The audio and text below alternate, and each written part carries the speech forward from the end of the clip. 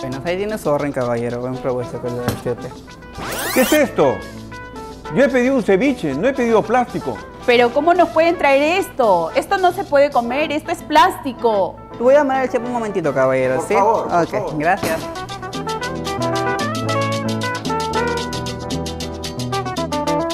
Lo que acabamos de experimentar es una representación de lo que está pasando en nuestros océanos. Cada año, toneladas de plástico terminan en el mar, dañando la vida marina y afectando directamente la cadena alimentaria. Oh, qué pena, realmente no lo sabía. Eso nos da una manera de tomar conciencia de lo que nos está pasando en nuestros océanos. Cada uno de nosotros puede marcar la diferencia. No arrojes plásticos al mar.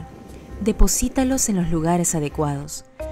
Recuerda, nuestras acciones tienen un impacto directo en la salud de nuestros océanos y en lo que llega a nuestros platos. No arrojemos plásticos al mar, protejamos nuestros océanos. Porque Nuevo Chimbote es bienestar para todos. Walter Soto, alcalde.